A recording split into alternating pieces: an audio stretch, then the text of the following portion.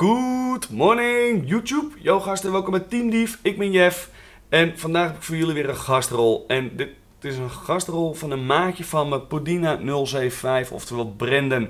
Ehm, ja, ik vond het eigenlijk wel een heel leuke gastrol. En hij vroeg het ook aan mij, Jeff, ik ben wel niet zo heel lang bezig, maar kan ik een gastrol bij jou doen? Nou, ik zei, dat kan wel. Ik zei, dat kunnen we wel even fixen.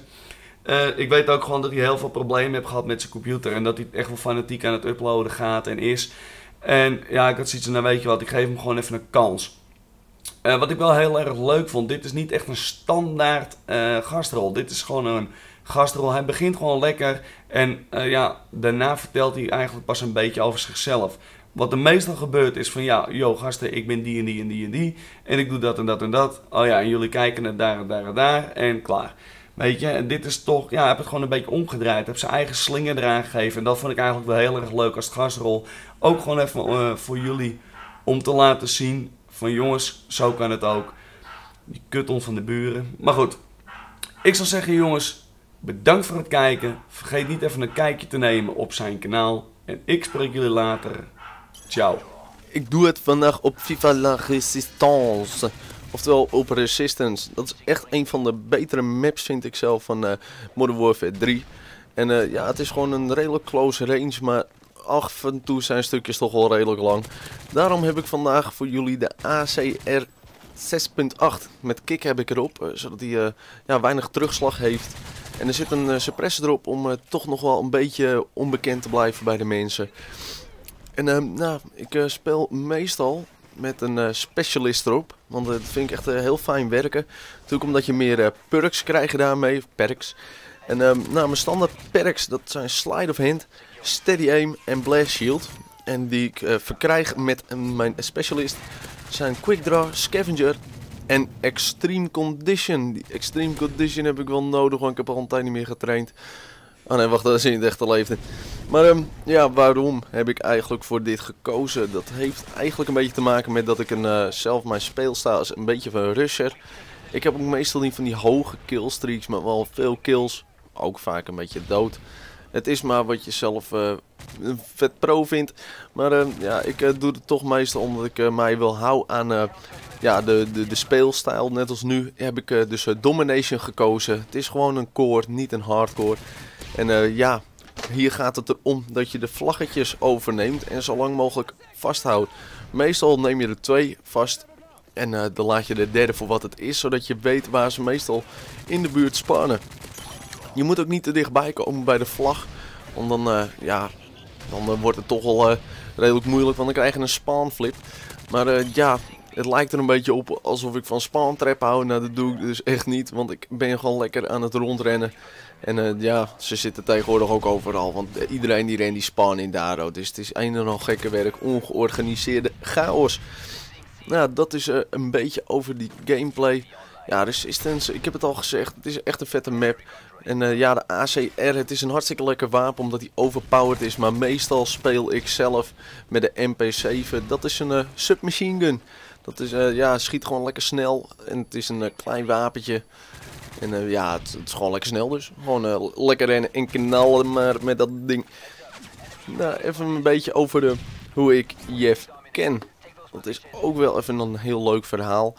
Jeff ken ik eigenlijk van zijn broer. Zijn broer die heeft een, ja, een bepaald zaakje, een kroeg. En daardoor uh, kwam ik wel eens toen ik lekker uitging. En het was altijd gezellig, een biertje drinken. En, maar opeens kwam de vraag van, lijkt het je leuk om hier achter de bar te staan? Nou, dat vond ik toch wel... nou, ik, ik had het toen een beetje met, met, met een slokje op had gezegd. Van, ja, superleuk.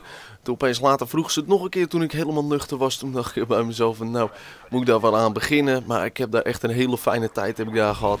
Maar toen leerde ik dus onze Jeff kennen. En uh, ja, af en toe een paar biertjes geven, altijd le lekker gezellig. En uh, Samantha heb ik daar ook een beetje leren kennen, zijn vriendin. En uh, nou, altijd wel leuk en aardig. Maar ik heb nooit echt achter hem gezocht dat hij ook zo'n fanatieke gamer was en YouTuber. Nou, toen ben ik eigenlijk dus ja, met iemand in aanraking gekomen die ook in Team Dief zat.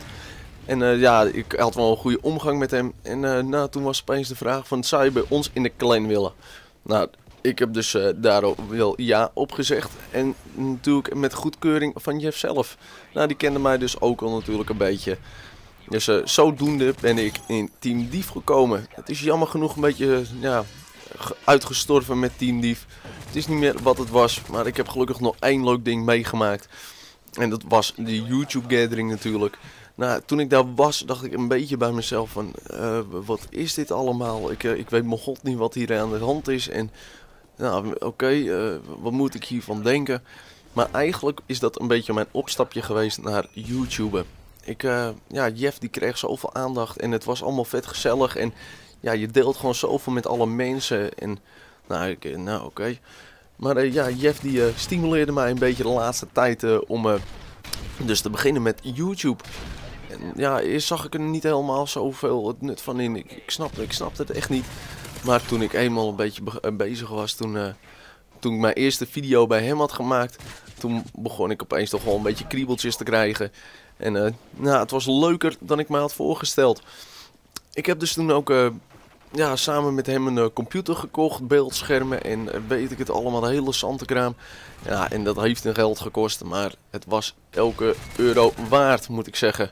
Ik had wel tussendoor wat pech gehad ermee. Want uh, ja, mijn computer die hield ermee op. En dit hield er weer mee op. En, maar uh, ja, Jeff die heeft mij dus geholpen bij echt alle programma's daarmee.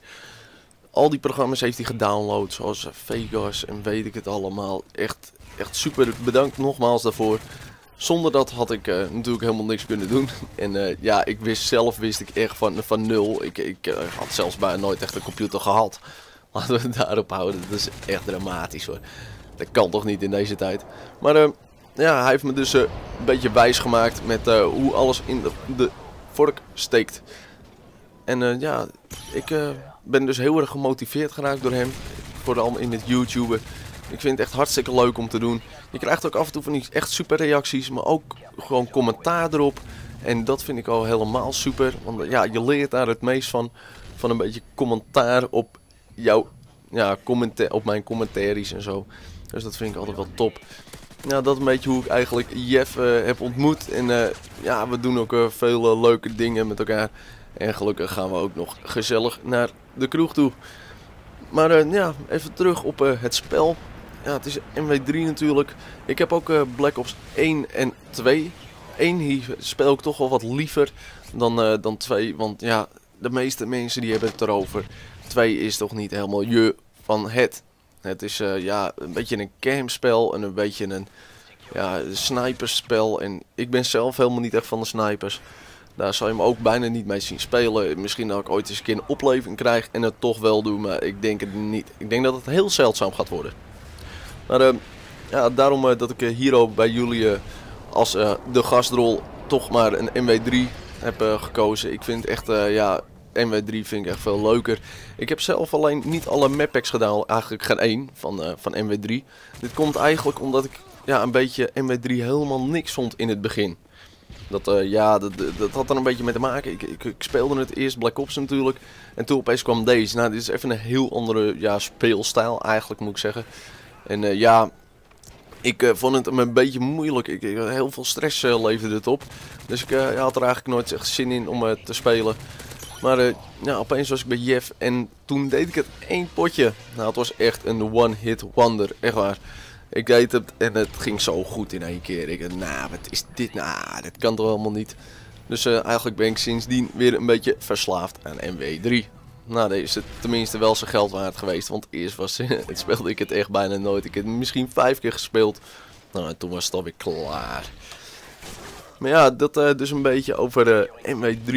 Ja, ik ik, uh, wat ik upload, dat uh, is dus vooral die drie spellen. Ik uh, heb een beetje een oldschool iets. Dat, daar doe ik dus de Black Ops 1 mee. En hardcore series, dat doe ik samen met ja, MW3 en dus ook nog Black Ops 2. En ja, dat, mijn plannetjes zijn dat ja, gewoon eigenlijk van alles doen.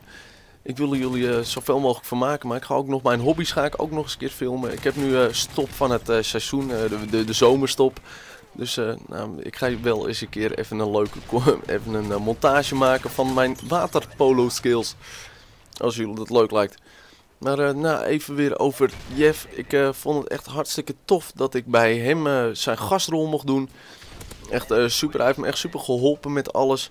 Dus ik zou jullie graag willen vragen of jullie allemaal even gaan liken op hem en abonneren.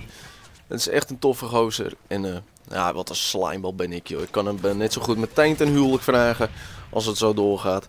Maar ja, het is gewoon altijd lachen. En ja, ik vind het tof dat hij dit doet. Voor de, de, kan hij natuurlijk mij een beetje mee helpen en zo. Op weg, want ik ben zelf nog heel klein op YouTube. Dus ja, ik wil jullie gewoon even vragen om hem te liken. En abonneren. En uh, like dus als video's. Maar nou, jullie mogen mij natuurlijk ook toevoegen op YouTube. Gewoon Podine075 met een hoofdletter P. En op Twitter heb ik ook een hoofdletter P. En ook gewoon Oedina075 erachter.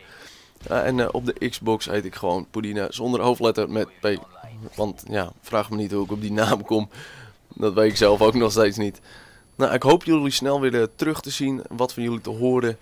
Geef even het groene duimpje, zoals Jeff altijd zegt. En ik spreek jullie.